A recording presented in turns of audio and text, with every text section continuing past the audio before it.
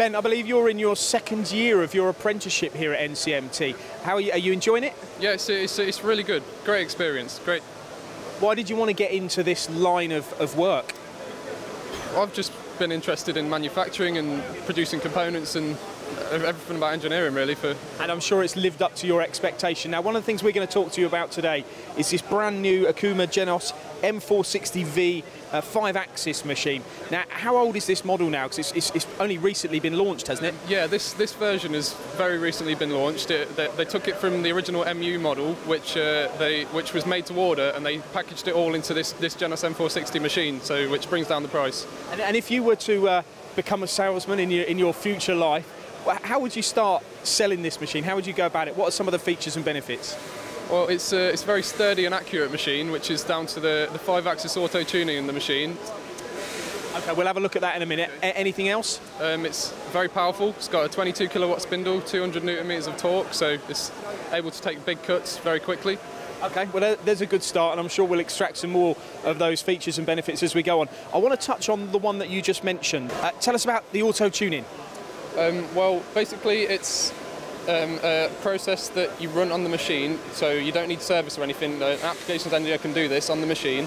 Get a sphere, put it on the table on the machine, and you run the process, and it probes this sphere, and then indexes the machine round, and probes the sphere again, and it does this multiple times in about 10 minutes, and compensates the the axes so to make it more accurate.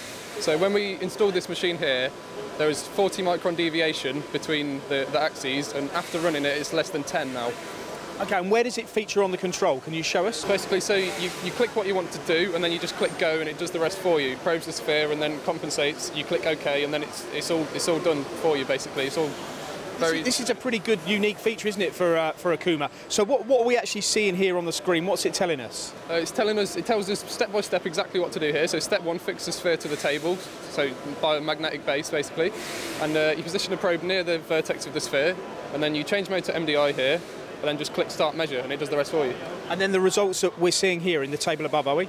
Um, the results it comes it comes down here. Obviously, there's nothing in there because we're not running it at the minute. But the results here it says uh, result without the compensation and result after, and then you can click update and it just does it.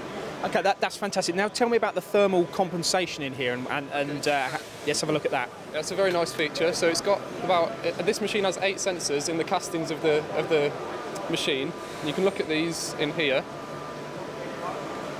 So it tells you the temperatures of all the sensors in there, and then it tells you how much it's compensating by to make the machine more accurate.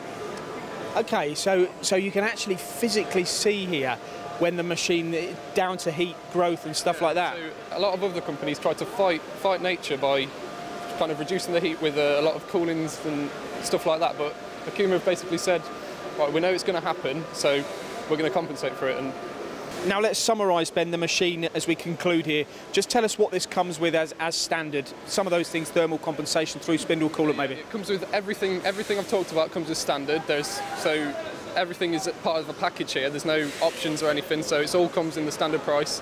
And it comes with a, a Renishaw probe as well. It comes with that standard. What, what, size tool changer do you have on here? Uh, there's 32 tools in the magazine.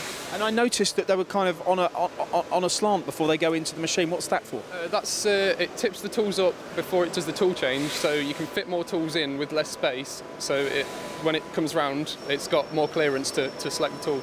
Brilliant. Thank you very much. How long is your apprenticeship? How many years? Uh, four years. Okay. Good luck with the rest of it. Thank you very much.